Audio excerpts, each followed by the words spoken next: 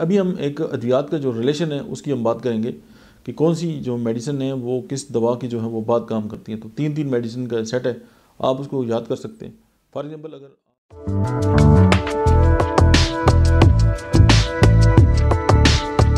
For example अगर आप patient आता है आपके पास तो सल्फ़र है सल्फ़र के बाद सार सप्रेला सार सप्रेला के बाद सीपिया अगर अर्सैनिक देते हैं तो उसके बाद थूजा और फिर tarentula carbo veg arsenic acid fluor lycopodium carbo veg china belladonna hyoscyamus और सट्रामोनियम नाइट्रिक एसिड देते हैं तो फिर उसके बाद बेंजिक एसिड और फिर सीपिया सीपिया देते हैं तो फिर कास्टिकम और जेलसीमम कार्बोवेज देते हैं तो कोनियम और ब्रोमियम अगर एकोनाइट जो है वो देते हैं तो स्पंजिया और हेपरसल अर्निका देते हैं तो रिस्टाक्स और किलकेरिया कार यानी जिस तरह ये एक्यूट और क्रॉनिक जो कंडीशन हैं वो आती हैं। अच्छा उसके बाद अगर आप पल्सटीला देते हैं तो सलीशिया और फ्लोरिक एसिड कालूसन अगर उसकी मेडिसिन बन गई है तो उसकी बाद जो है वो कास्टिकम का नंबर आएगा और उसके बाद स्टेफिसिकेरिया का एलम सीपा अगर आपने दी है तो उसके बाद फॉस्फोरस और फिर सल्फ़र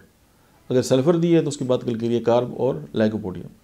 एकोनाइट दी है तो उसके बाद आर्सेनिक और उसके बाद स्टॉक्स थूजा दी है तो स्टाफिसिकेरिया और फिर नाइट्रिक एसिड कैम्फर दी है तो किप्रोमेट उसके बाद ब्रेट्रमल्बम कास्टिकम दी है तो रिस्टॉक्स और फिर सल्फ़र इग्निशिया उसके बाद नेट्रम में और उसके बाद सीपिया पल्साटीला पल्साटीला का ग्रानिक, काली सल्फ और काली सल्फ का ग्रानिक स्लिशिया। ये जो तरतीब मैंने आपके सामने रखी है अद्वियात की,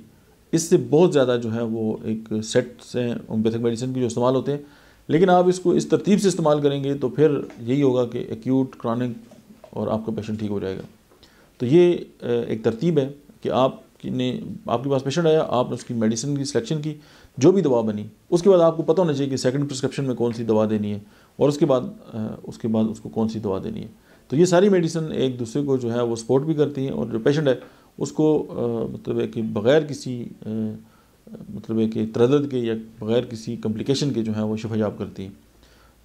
उम्मीद है कि ये वीडियो आपके काम आएगी। आज के लिए इतने ही, मिलते हैं नेक्स्ट वीडियो में, तब तक आप देखते रहिए डॉक्टर अहमद ऑफिशियल